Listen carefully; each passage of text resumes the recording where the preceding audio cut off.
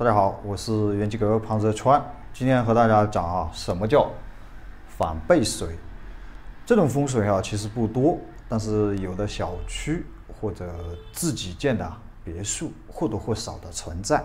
啊，给大家介绍反背水的目的，就是让我们在以后啊选择住宅的时候尽量的避开。那么什么是反背水呢？比如说。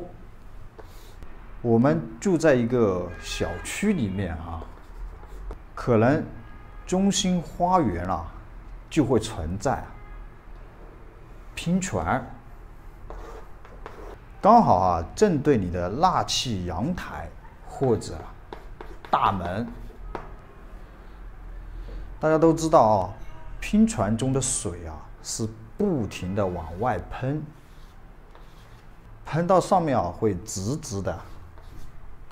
掉下来，当然也有的是假山，这个水啊，被人为的抽到了哈假山的顶部，再从这个顶部啊垂直的落下来，像一个啊瀑布。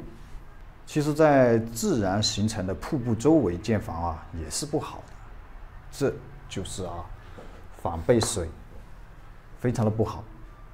听到“反背”这个词就不急，“反”这个字啊不急，还有一个“背”，“背”和“反”啊其实都是一个意思。背对着你就是反对着你，这种风水啊是无情的。我们在风水上称有情水和无情水啊，无情水必然住着不利，对家人的运气啊会有很大的影响。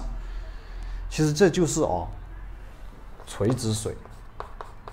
那么垂直水啊，它在大门前面，就可以称为反背水。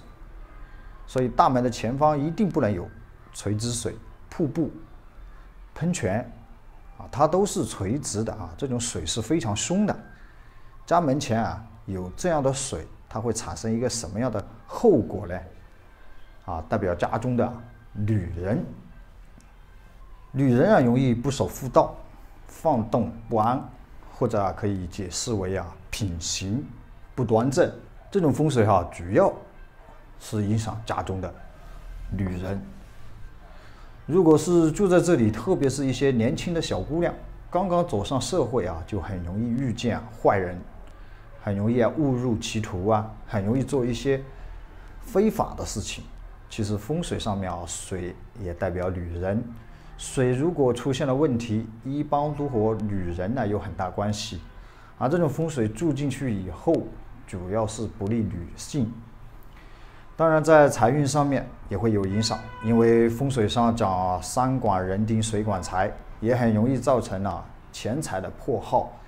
房子前面一定不能有这种垂直的水，因为它被称为啊无情之水，代表财也是无情的，女人也是无情的。女人无情，财也无情啊，代表你容易破财，婚姻不顺。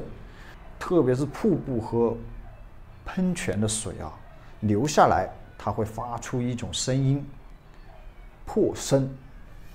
这种声音啊，它也会形成一种声煞，破也是破财的意思。所以啊，住房的大门前面如果有喷泉，如果有瀑布，如果有这种垂直水啊。那么这种风水啊，就为反背。